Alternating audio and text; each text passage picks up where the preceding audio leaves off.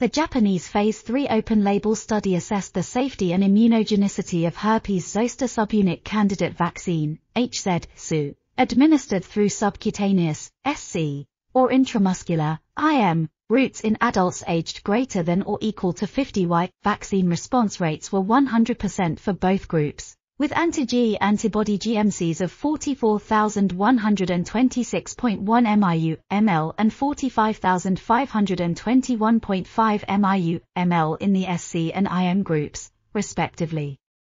Injection site reactions were common, with grade 3 redness and swelling more frequently observed after SC administration. Fatigue and headache were the most commonly reported general symptoms for both routes of administration.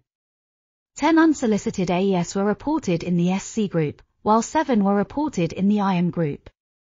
Two unsolicited AES were considered related to vaccination by the investigator, and three non-fatal SAEs unrelated to vaccination were reported during the study. Overall, HZ-SU vaccine candidate resulted in a substantial immune response that was comparable between SC and IM subjects, but local reactogenicity may be greater for SC.